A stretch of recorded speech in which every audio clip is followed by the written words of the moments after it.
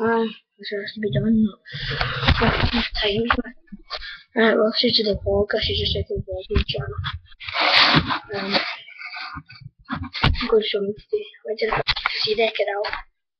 And if anyone wants to see Wreck-It Ralph and is watching this, well, go to see it. Uh, it's a real good movie. Um, it's about this big giant called Ralph, and he is what in a video game it's like Pac-Man, but a game Wreck-It Ralph Jr. and that's a good name of the game. And um, he has to wreck this building, and this person called Fix It Felix, um, he fixes the building back up, and if he fixes it in time, then um, he wins. And it's a real good movie because it's dead sad and stuff like that.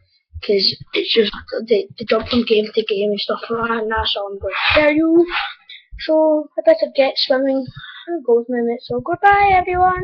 Goodbye.